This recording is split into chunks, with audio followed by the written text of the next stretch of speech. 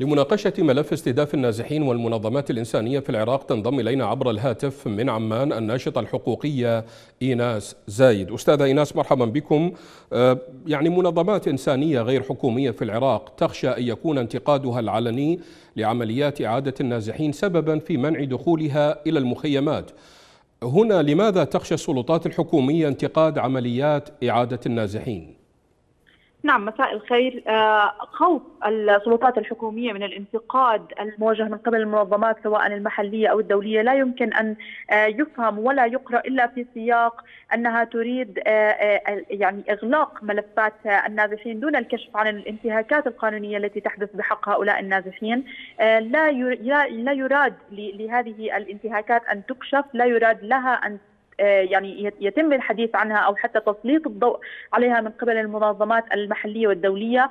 وهذا الأمر فعليا مقلق لأن الانتهاك بحد ذاته وارتكاب آه، آه، عمليات التهجير القسري أو العودة القسرية لهؤلاء النازحين وأيضا تكميم الافواه ومنع منظمات المجتمع المدني والمنظمات الدولية من الحديث عن هذا الموضوع.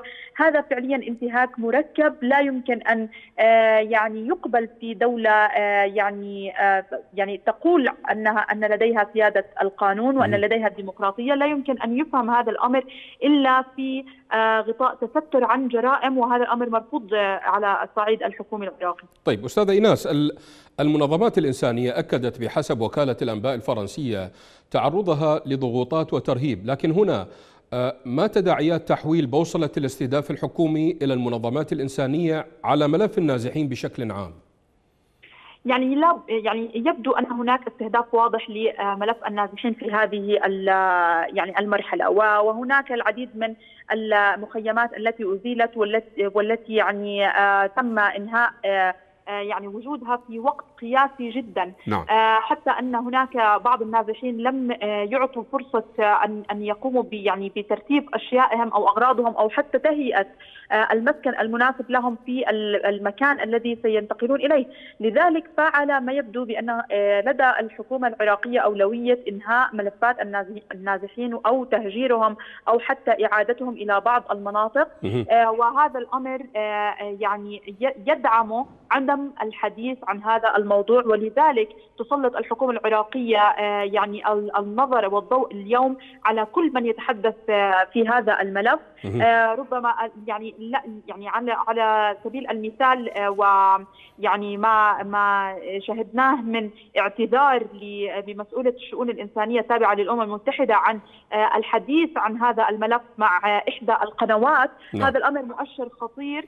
يدل بأن هناك سياسة ترهيب وتخويف وأن هناك تهديدات تلحق المتحدثين الرسميين باسم آه، منظمات دولية ومحلية وهذا أمر لا يجدر آه، السكوت والصمت عنه لأن آه، حرية أيضا التقصي الحقائق وأيضا رصد الانتهاكات هذا الأمر لا يمكن ابدا أن يوضع له قيود أو حدود. في هذا السياق لنتوسع أكثر منظمة هيومن رايتس ووتش طالبت السلطات في العراق بعدم إجبار النازحين على العودة إلى مناطق تعرضهم للخطر مرة أخرى لكن هنا ما هي الخيارات المتاحة للنازحين في ظل هذا التجاهل الحكومي لأصوات المنظمات الحقوقية؟ للأسف أن النازحين لا يملكون أي خيار. يعني هناك إجبار لهم على آه، مغادرة المخيمات التي يسكنوها والتي بالمناسبة هي تفتقر لأدنى مقومات الحياة الكريمة. ومع ذلك هم لا يدرون آه، يعني إلى أين مساق مساقهم بعد هذا التهجير. وأيضا يعني من أصوات المواطنين الذين يعني استضفتهم في التقرير آه، نعم. هم يريدون فقط الأمن يريدون الحياة الكريمة. لا يمكن ابدا إجبار أي نازح على الخروج من المخيم آه، للذهاب إلى مكان آه، أخطر أو أو قد يلقى فيه آه، يعني تعرض لحياته الشخصية أو تهديد لأمنه الشخصي. نعم. هذا الأمر مرفوض وفقا للقانون الدولي. بالإضافة إلى أن أي حل يطرح في ملف النازحين يجب أن يكون مستدام لغاية اليوم الحكومة العراقية لم تقم بتأهيل وإعادة إعمار المساكن التي دمرت بفعل يعني تحالف الدولي قوات التحالف الدولي لم تقم ابدا ب تهيئة البنية التحتية من أجل استقبال هؤلاء اللاجئين وأيضا لم تقم بفرض الأمن وأيضا فرض هيبة القضاء واستقلاليته في تلك المناطق. الأمر الذي يشعر المواطن أو النازح بالأمان عند الذهاب إلى تلك المناطق. لذلك يتساءل يعني نتساءل نحن ك يعني كناشطين حقوقيين لماذا هذا الإصرار؟ لماذا الإصرار من قبل الحكومة العراقية على عودة النازحين في هذه الظروف؟ نعم. لماذا لا يتم تهيئة الأماكن آه، بدايه ومن ثم الحديث عن نقلهم. وإعادتهم إلى مناطقهم استاذه إيناس قائم مقام سنجار محمى خليل آه، في محافظة نينوى أكد أن هناك ميليشيات وقوى وصفها بغير شرعية هي التي يعني تمنع عودة النازحين الراغبين بالعودة إلى مناطقهم لماذا لا تعمل السلطات الحكومية في بغداد على عودة هذه الشريحة من النازحين تحديدا اولا ملف أو وجود آه، ميليشيات آه، يعني لغاية اليوم ميليشيات مسلحة في العراق هذا أمر مسؤوله مسؤولية كاملة عنه الحكومة العراقية، لا يمكن ابدا لأي فئة أن تحمل السلاح إلا القوات الحكومية العراقية وصمت آه، وقبول الحكومة العراقية على تواجد تلك الميليشيات. هذا بحد ذاته أيضا يحملها المسؤولية في. هذا الصدد، ولكن إذا أردنا القول بأن الأهداف المرجوة من وراء منع بعض الأشخاص من العودة إلى آه، مناطقهم ويعني وبالتالي منع العودة الطوعية فهذه ازدواجية في المعايير، اليوم م. نرى بأن الحكومة العراقية تجبر